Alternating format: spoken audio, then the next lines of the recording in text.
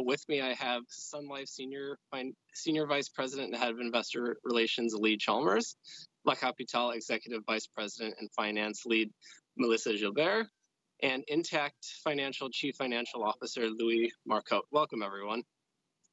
Uh, so we'll get right into it. Um, I'd like to start with a broad question, but I know it's one that's on everyone's minds, and that's uh, how has your firm managed throughout the uh, early phase of the pandemic, and what do you see as um, some potentials for growth as we move past this acute phase?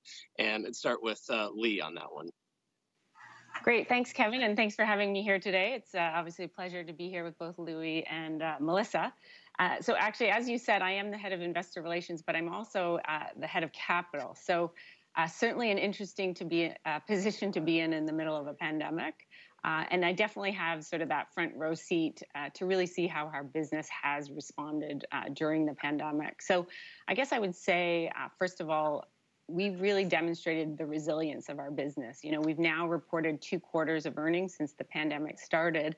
And we were fortunate in that we came into this pandemic with a strong balance sheet and a very strong capital position. And that, I guess, in, in addition to our balanced and diversified business mix, has really helped us weather that storm. So, what I'll do, maybe just looking at the diversification of our business, you know, in Q2, we did see some higher uh, life insurance mortality claims coming through, um, but that was offset by favorable benefits in our UK annuity block. So, again, really having a, a very minimal impact on our, our business. Uh, from a product um, perspective, our business is really mixed between life and health as well as asset management business. So, as you know, with um, low interest rate environment, um, that's obviously going to have more of a, a, headwind against our insurance business. But on the uh, asset management side, our MFS pillar, we're really benefiting where investors are moving into higher yielding equity. Um, so again, that diversification is paying off for us. And then lastly, I'd say on the geographic diversification, um, obviously this is a global pandemic impacting all of our businesses, but because we're seeing some countries coming out of it sooner, particularly in Asia, for example, our Q2 results, we saw that um, you know our sales were really flat. Um, you know, Q2 current year over prior year, and that was really a function of um, China, Hong Kong, and Vietnam coming out much sooner and really offsetting the negative headwinds we are seeing in those countries that had those more severe lockdowns. So lots of diversification that has managed to help us remain resilient. Um, and so maybe just quickly you asked about uh, you know sort of opportunities that we're seeing i would say it's it's really about digitization of our business and uh, moving to digital being more agile um, you know, we started on that journey five years ago with rolling out technology to our advisors. And, um, you know, that's really helped us stand up our business quickly and then continue to be out there selling. Um, so that's a lot. That was a big question. So maybe I'll, I'll turn it over to the others to be able to jump in and, and add some comments. Uh, Melissa, would you like to follow?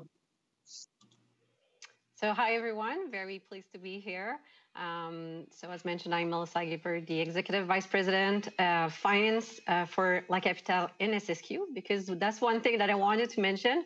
Uh, during that pandemic crisis, we actually completed the merger of SSQ La Capitale, so very proud of that.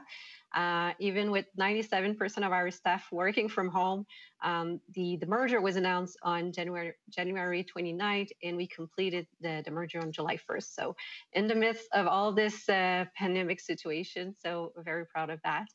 Um, in terms of the, um, I would say, financial situation of the company, we managed quite well. Uh, and uh, that also allow us to uh, provided some relief to all our clients in auto insurance. So a 20% relief. And also, we also provided a 60% relief to all our clients for dental care uh, in group insurance sector. So, um, so that uh, was the part we, we did for, for our customer. And um, yeah, so that's, that's about it. Louis? All right, thank you. Good morning, everyone. And uh, so our, beginning position was one of strength as well from an operational point of view and a balance sheet uh, point of view. Primary focus at the outset of the of the pandemic was clearly uh, safety and health of our employees, but as well making sure we had service levels adequate for the needs of our customers. And sending, you know, 97, 98% of our staff at home and being able to maintain level service levels was a was a key priority. The second phase was a bit absorbing the uh, financial potential financial impact of the pandemic. I think uh, you know in Q1 we took up the reserves we needed uh, to cover any losses from the from the crisis, and at this point in time, a few months later, we feel very confident that what we've taken is sufficient to cover any potential costs. So we're I think we're in a good position here. From a forward-looking point of view, I think you know we came in a position of strength and really, the the goal we put for, for ourselves throughout the crisis was maintaining that strength, because we knew that at you know uh, further down the line in time, either we'd uh, see more shocks, and we wanted to be in a position to absorb those shocks, or alternatively, uh, should there be some opportunities for growth, we'd be in a position to capture those opportunities. So clearly, there's a view that uh, the pandemic will bring a bit of dislocation in the industry. Consolidation will take place, will continue to take place, and uh, we want to be in a position of strength to be able to capture those opportunities, and we are. So we, you know, we feel in a, in a good position right now. Right. Well, thank you. And so obviously the, the pandemic is still uh, still not over, and there's not a great deal of certainty when actually that might be. Uh, so what would you say are the, the biggest risk or two that's still facing your uh, that's still facing your company in the midst of this pandemic? And we'll start with Louis on that one. Sure, thank you. So as I said, I think from a, from a reserving point of view, we're at the right level. We've got what we need, and at this point in time, given the observations we see, uh, you know, the risk remains um, uh, very, very limited. Um, well, of course, what can happen to us right now is the what we call indirect losses, and those would be derived from the prolonged economic slump that you know we're, we're facing and that we might be facing uh, going forward, and that that's not factored in. Uh, you know, wave two and a prolonged economic uh, downturn would be uh, something that you know would would put a bit of pressure. We think we're in good position, but that's one one element we're uh, currently watching for. some coverages, for example, in some of our businesses in surety would be one that would be potentially most impacted and we're carefully monitoring what's going on uh, on that front. Of course, activity on capital markets, you know, the fluctuations are, might be important, and um, you know there's a bit of uncertainty going forward. So uh, we're prepared for that. We've really uh, put our balance sheet in good uh, position to capture those uh, those risks if they come around. Natural disasters remain uh, a risk for us. You know, although we're well reinsured, you never know what can happen. It's been a fairly quiet year so far. Um, but they remain a potential risk. And the last one I would talk to is there's a lot of talk around business interruption uh, in our sector. And I would say here we feel very confident that the level of exposure we're facing uh, on that front is extremely limited. And all the uh, there's a lot of noise, but at the end, uh, our level of um, of uh, fear on that front is is quite limited.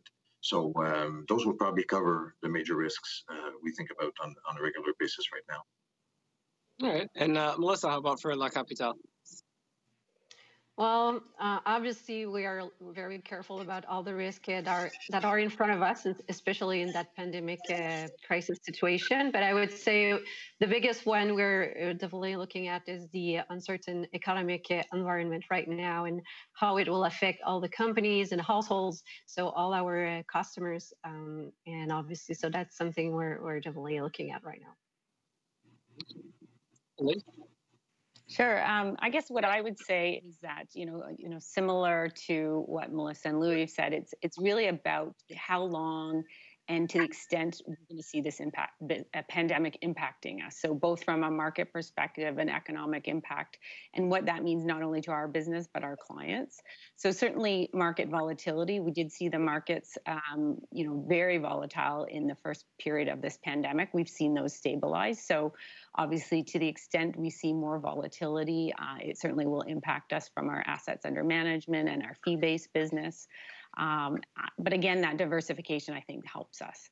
And then again, I mentioned it before, but the low for longer interest rates. Um, you know, we've been in this low interest rate environment for a while now and a declining interest rate. So as a result, we've demonstrated our products can be adjusted.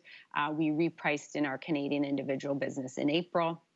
So we will continue to look at that. But again, when you look at our business, we like to talk about it as being 20, 40, 40. So 20% of our business is really at, at risk to those lower interest rate environment, whereas 40% is our asset management business or our group business, less tied to those longer term interest rates. So, so with those, you know, our ability to adjust our pricing and our products, as well as less being less conscious, uh, concentrated in low interest rate environment um, risks, we think we're well positioned uh, despite this headwind.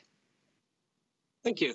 And, and, you mentioned lower interest rates. Obviously, that, has been one one thing that's uh, that's, shifted a lot in markets during this pandemic. Um, there's been a lot of other shifts in markets. I'm curious to see uh, how have uh, how have your firms been making changes in your investment portfolios. I guess we'd start with uh, Melissa on that one.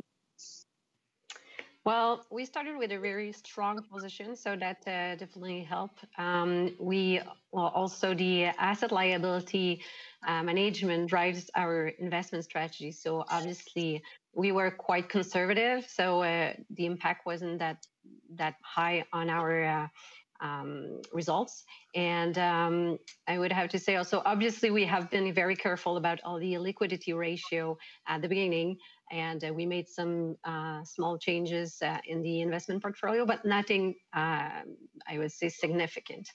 Um, and I would say, obviously, I think for the um, the interest rates, definitely we are we're thinking uh, on a long term basis the way we will manage the the portfolio, because obviously um, this will affect our well, especially the life insurance sector uh, business. So uh, really, we're thinking about how we can get the uh, return on investment that we're looking for uh, with such low interest rates. So. Uh? Yeah, so uh, again, quite consistent. I mean, how I'd probably answer that is really looking at two aspects of our business. So first on, on our general account assets and, and how we've adapted there, but also in terms of our uh, our business we call SLC management, which is about our alternative asset uh, manager. So on our general account you know, I, I, you know, obviously nobody predicted uh, this pandemic, but it's certainly something, you know, we, we knew we were certainly long in that credit cycle. You know, I think of all the meetings I attended where we were in the ninth inning, the 10th inning, I think it was the 14th inning of the credit cycle. So everyone anticipated something was coming. And as a result, we really started to reposition our balance sheet. So, um, you know, we upped our quality on our commercial mortgage book from triple B to A. We, you know, fundamentally repositioned our real estate portfolio, moving away from um, you know, uh, indoor malls to more outdoor malls, grocery anchored, reduced our exposure in Alberta and oil and gas. So, so we really came into this uh, pandemic positioned well, and also in a position where we had highly liquid assets that, you know, as we saw the spreads blow out, uh, like we did early on in the pandemic, we were really able to take advantage of the opportunity to buy up additional assets at you know high quality but higher returns. So uh, certainly we were in a good position as we came into that pandemic. And then the second part i wanted to highlight was just around our, our asset management at slc and our alternative asset management business. So this is a business we started uh, six years ago and it was about the need to look and provide our clients with alternative asset solutions. You know, the interest rate, as I said, we were operating in a declining interest rate environment. We knew there was a search for yield.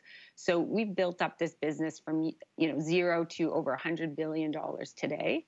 And, um, you know, fundamentally, in that portfolio, we have uh, real estate, which was, uh, you know, we invested, we bought Bentall Kennedy. We expanded that a year ago with the acquisition of GreenOak.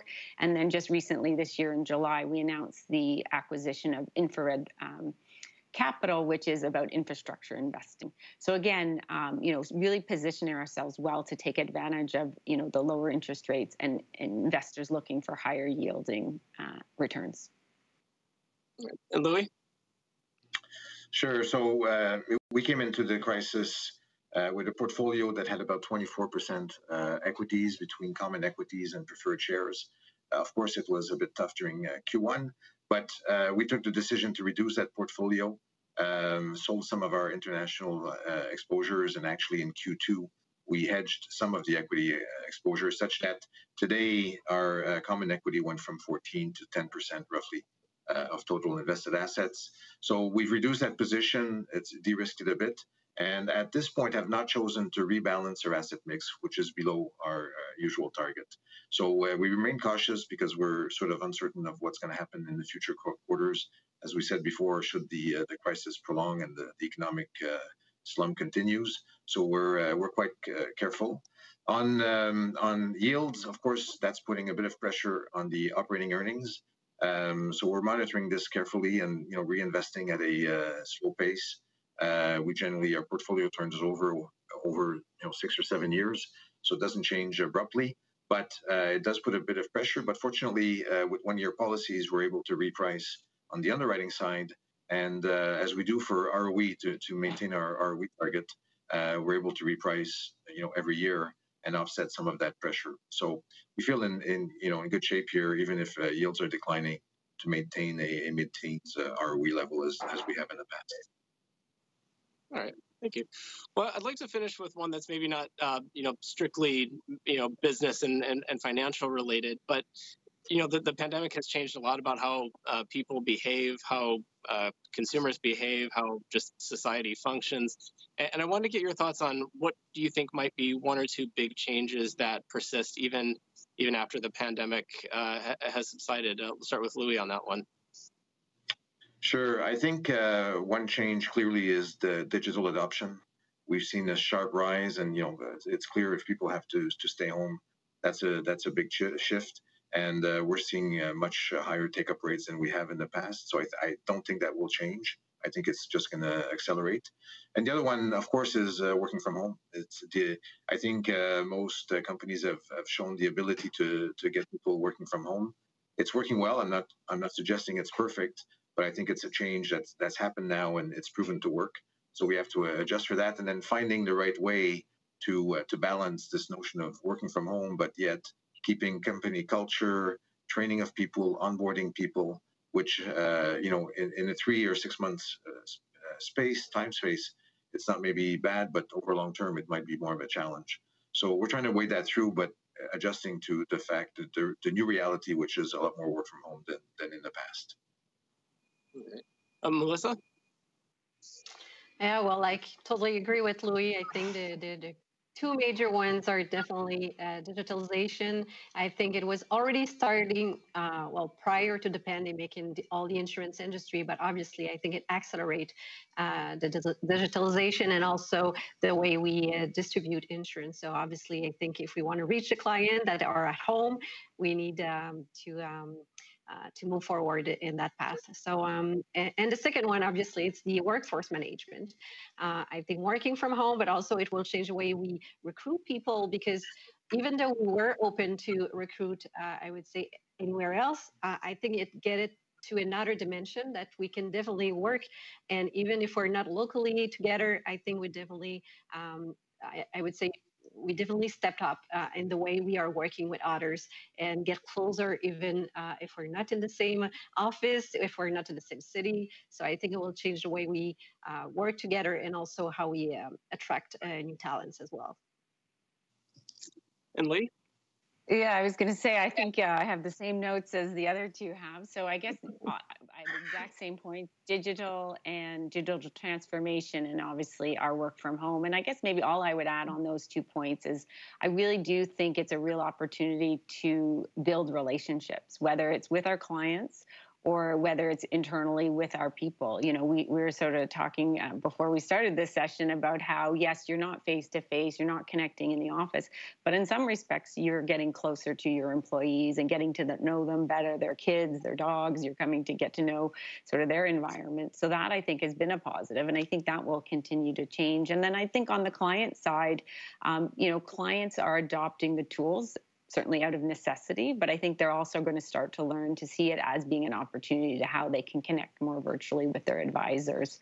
Um, and, you know, just one anecdote, um, you know, in our US business, the immediate immediately once the pandemic hit in March, we are holding virtual sessions with our clients, employees, and our group benefit plans on one call. You know, we reached over 14,000 employees. So um, people are engaged, and we're creating and providing those tools to stay connected with our clients. So I think that'll be a real upside of, of this pandemic and, and as we go forward. All right. Well, that is all the time we have today. Uh, thank you very much, everyone, for joining us.